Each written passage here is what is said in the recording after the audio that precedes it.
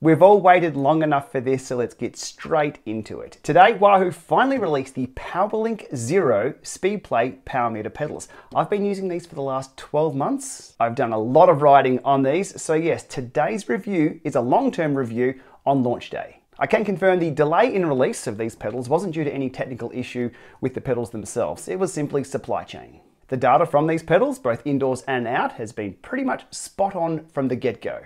I can trust them to compare other power meters to, both indoors and out. And I've already done this in a number of reviews here on the GPLama channel. So that's the summary, let's get straight into the details. Pulling up Wahoo's technical specifications of these pedals, there's both a dual-sided and a single-sided version. The dual-sided version coming in at a claim 276 grams, with the single-sided version coming in at 250 grams. Power measurement, obviously dual-sided on the dual-sided, left only on the single-sided.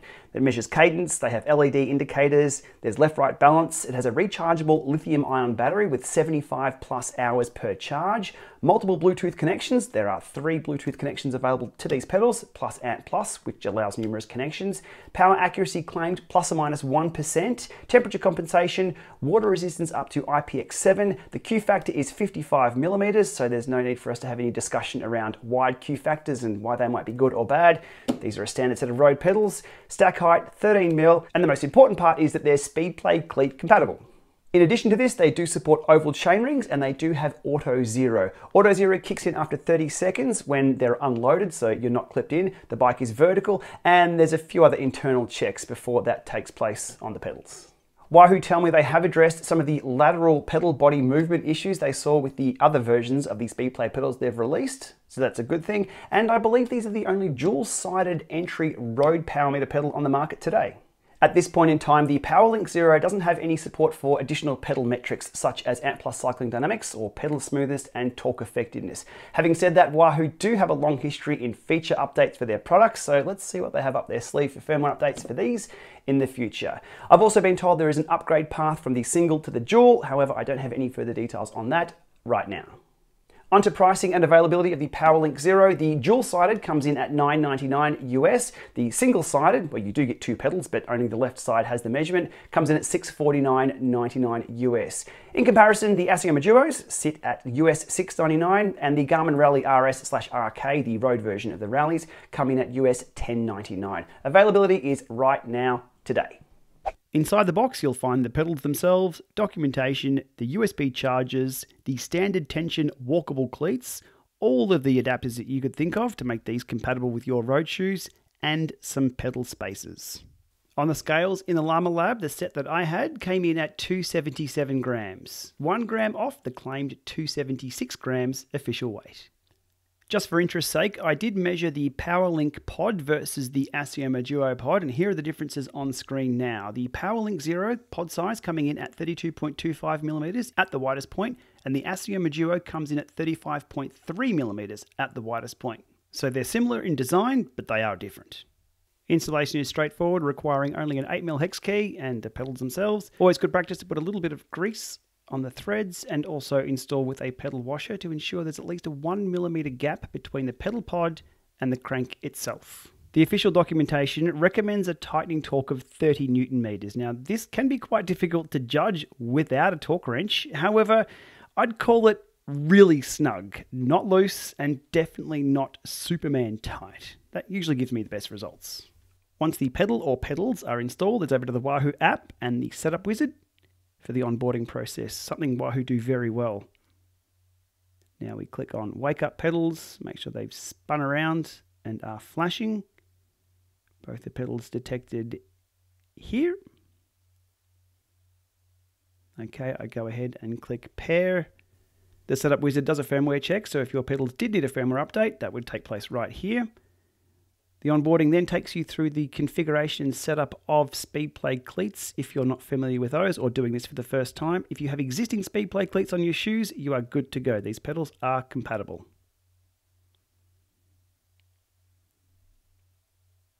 Okay, I've already jumped ahead, but this gives you some information here on installing the left and right pedal with an 8mm hex wrench and to 30 newton meters. Okay, some information on the charging port, calibration required to, to do a zero offset. Hit calibrate on those. Okay, left and right successfully zero offset. That's all good to go. Next is the crank length setting, which is important to get right. If you're using something like Zwift, TrainerRoad, or Wahoo's very own system, the crank length within the pedals needs to be correct. If you're using these pedals out on the road with a head unit such as the ELEMNT, Garmin Edge, Hammerhead Karoo, etc., the sensor crank length setting will override this setting. So it's important to get that right when setting these up on your head units too. After having the PowrLINK Zero for over 12 months, you can probably guess I've got stacks and stacks of data to go through. I have over 60 hours of comparative tests against other power meters, smart trainers, and smart bikes. Let's get stuck into it with a review of six data sets, starting off with the KICKR 5, Rival AXS Quarq, single-sided, and the Wahoo PowrLINK.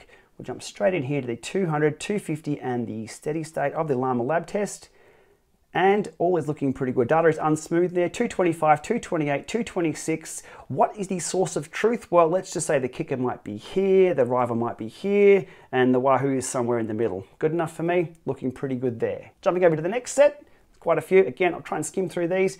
Here is the Stages bike versus the PowrLINK. Just riding along, just riding along into a short erg mode test.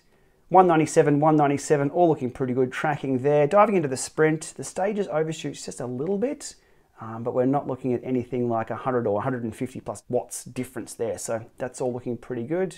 And just quickly before getting into the latest Lama Lab test, another quick review of some erg data here from back in July last year. We have the KICKR 5 Rival AXS PowrLINK Zero uh, with a bit of a stop start here, which will affect the data a little. 235, 236, 235, no major separations, all looking pretty good there. That's looking pretty good over six months ago. Data set number four is the full Lama lab test performed just the other day with the latest firmware updates on these pedals just prior to release today. Now in choosing the Smart Trainer to use as the baseline for this test, I thought, should I use the KICKR 5 and the Wahoo pedals, like Wahoo compared to Wahoo? I'd always have a third wheel there, the Power2Max NGeco, which is on screen. But I thought I'd put the KICKR 5 aside for this test and put it up against something we've trusted for a while now, the original Tacx Neo from 2015. And, well, the data's pretty good. Diving in here to the steady state 200 into 250 into the sprint, you can see there, three power meters line up quite well. We have 227, 230, 227, very, very close. Diving a little closer to this, the Power Max is just a little spikier in the blue there. Um, just how it is. The Power Max NGeco is plus or minus 2%, so all within spec there.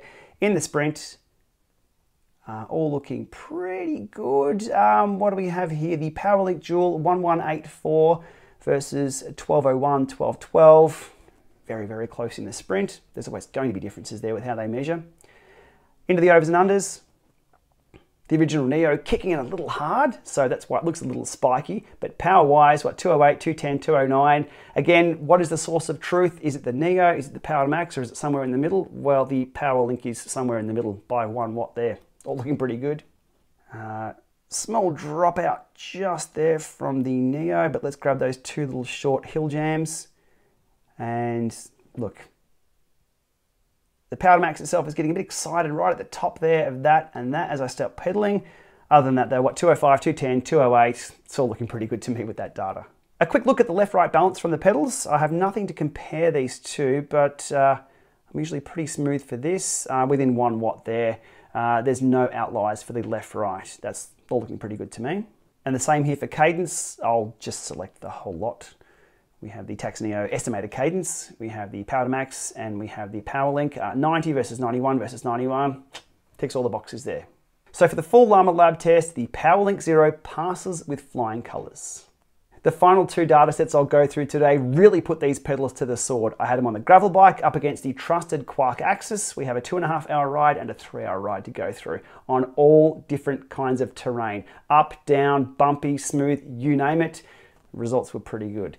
Diving into the first section here with some start stops and some up downs. 248 versus 248, nothing separating them there other than a few different recording intervals. Um, all looking pretty good. The Quarq Zero getting pretty spiky there, but as you're hitting rocks and bumps and things like that, it's kind of to be expected, but that's all looking good there. No major separation. Means I have to stop the bike and zero things. That was all looking really, really good there. That was the start of the ride. Later on the ride here, before I stopped for coffee, over an hour into the ride, Again, it's all up and down, 221, 220, The PowrLINK are road pedals and they're performing this well off-road, looking good.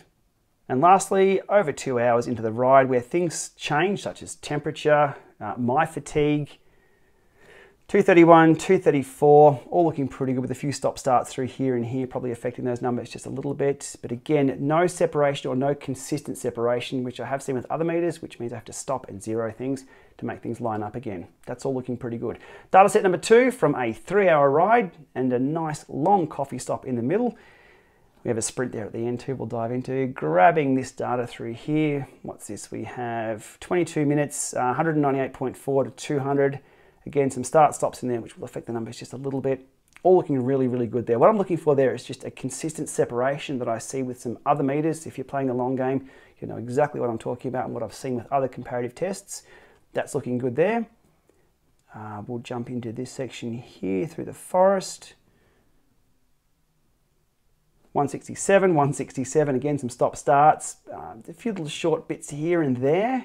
But again, to be expected with two different types of power meters, but overall, when I'm looking down on the head unit, there was no major consistent separation indicating any problems. Uh, let's jump into the short sprint here at the end. And all looking really, really good there. Uh, 42 tooth on the front. Uh, I've got a 50-10 on the back and the sprint there, that's looking really, really good. What's that? Within two watts of that data point right there. Uh, 1244, 1246. Wahoo, you have outdone yourself with that. That's up against the Quarq AXS. Now, Quarq have been around for a very, very long time. The PowrLINK, which is technically a version one of the product, it's matching it. Looking really, really good with the data that I have. So to wrap up my long-term review of the Wahoo PowrLINK Zero SpeedPlay Power Meter pedals, the summary is they simply work. If you're a SpeedPlay diehard and have been waiting for your power meter pedal to come along, these are likely going to be the answer. Look, even though this has been a long-term review and I've covered a lot of use cases, I'm sure there's some that I haven't. So I'm keen to see how everyone else goes when they start installing these on the bike. Keep me across your experience in the comments below. I'm keen to hear if my testing is on the ball with how these perform for everybody else. As always, if you've liked this video, give it a thumbs up. To support this channel, hit that subscribe button, it's much appreciated. To take that support a little further, hit that membership button, that's also appreciated. Thanks for watching.